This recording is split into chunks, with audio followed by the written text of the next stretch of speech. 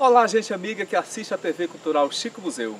Nesse momento eu vou fazer aqui uma visita a um açude onde eu, quando era pequeno, passava o dia inteiro pescando de anzol. Pescando de landuá, pescando com as mãos, passava o dia inteiro lá.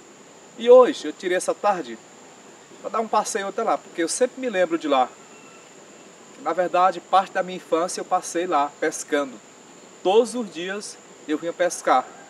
Chegava em casa, a mãe tinha feito arroz branco, esperando as piabas. Infelizmente, nem todas as vezes eu pegava as piabas. Mas, quando pegava, a gente chegava em casa tardinha, à noitinha, aí fazia aquela festa, porque no tempo da pobreza, né? Porque hoje as coisas melhorou nas décadas de 80, 90, era bem, era bem complicado, onde as crianças, os adolescentes tinham que tinha que caçar, tinha que pescar. No meu caso, eu me destaquei mais fui pescando neste açude que nós vamos conhecer agora.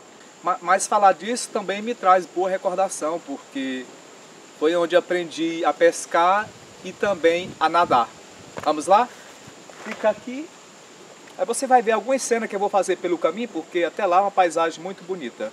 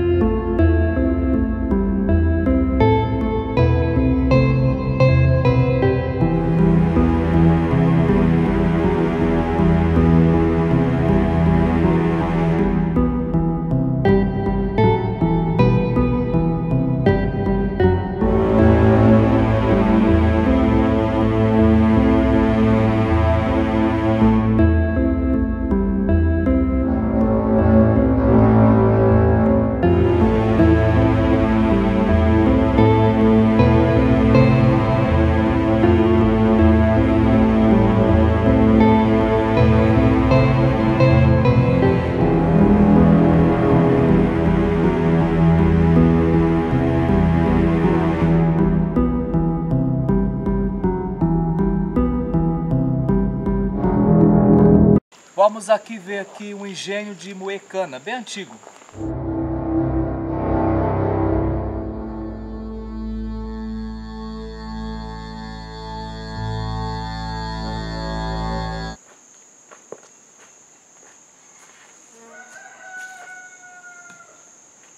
Olha só aqui um engenho de moicana bem antigo, que era usado boi. Agora já tem umas décadas que ele está aqui abandonado. Mas aqui já foi tirado muita garapa de cana, o famoso caldo de cana deste engenho. Ele já travou, já não, não gira mais.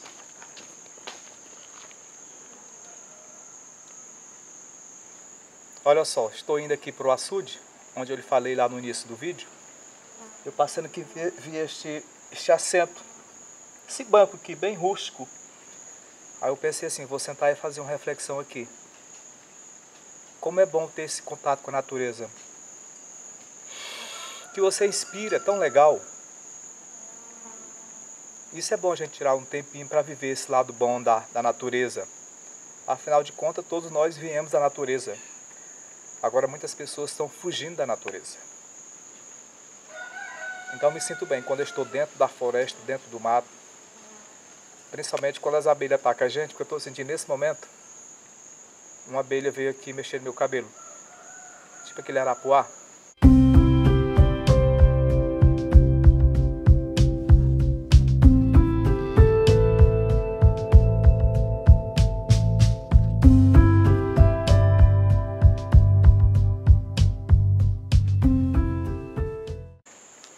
Aqui é o famoso jiqui. Eu já mostrei alguns vídeos pescando com jiqui. Aqui é uma casa antiga ele estava de pendurado aqui, bem interessante. Aí você vai fazendo isso daqui. Aí quando o peixe, quando dá no peixe, ele dá um giro querendo sair, você mete a mão e tira o peixe.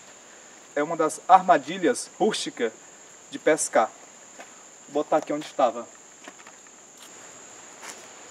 Então, para chegar até o açude, nós já passamos duas porteiras. Tem essa daqui e tem a, a quarta lá. Mas vale a pena chegar lá. E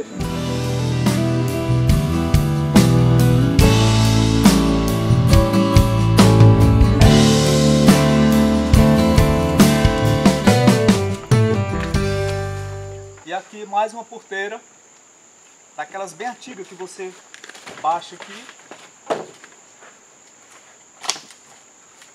Pronto.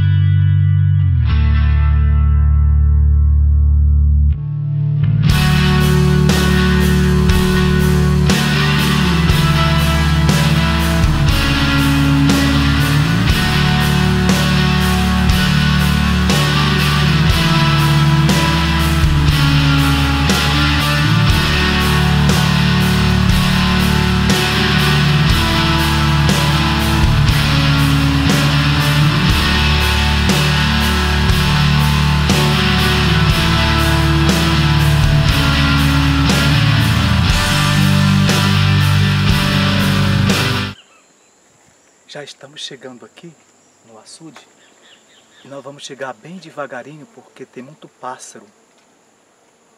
Que legal que lá tem pássaro, porque apesar da perseguição, né? Tem muito pássaro e eu quero estar registrando alguns voos dos pássaros muito bonito aqui.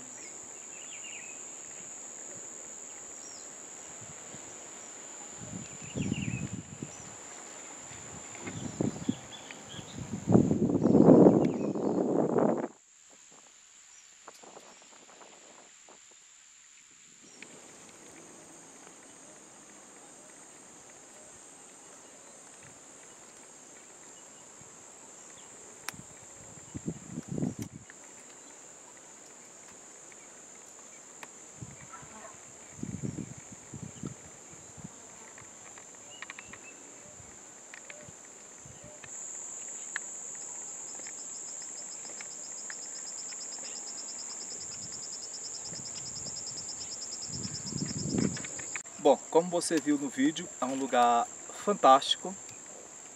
Você viu aí as cenas do açude, em que nas décadas de 80 até 90 eu passava praticamente o dia inteiro aqui dentro. Eu e alguns amigos. Aquele vício de pescar, não só pelo vício, mas também pela fome. Tinha vezes que a gente pegava peixe, tinha vezes que não pegava. No entanto, que a gente estava aqui todos os dias. Né? Aí do outro lado ali tem a parede do açude, que eram os principais pontos de pescar com anzol. O dono da terra proibia as pessoas de pescarem. Mas mesmo assim, mas mesmo assim a gente vinha e pescava os nossos cará, nossas piabas, para garantir o almoço, garantir o jantar. Então, então voltar aqui a este açude é voltar às minhas origens. Espero que você tenha gostado do vídeo, de saber um pouco da minha história, das minhas origens aqui no açude do Carobal, município de Esperantina, muito conhecido aqui na região. Ele foi construído em 82, 83, na, na que chamava de emergência pelo governo federal. E aí ficou esse espaço para as pessoas mais simples virem pescar aqui. Teve essa proibição, mas depois foi liberado, enfim. Hoje, com tanta fartura, tanta coisa boa acontecendo na vida das pessoas, aqui é um local que poucas pessoas pescam. Você viu o acesso para chegar até aqui? No tempo que eu pescava, tinha estrada para passar carro, bicicleta, que moto não tinha moto só foi entrar aqui em nossa região de 2001 para cá. Tá certo?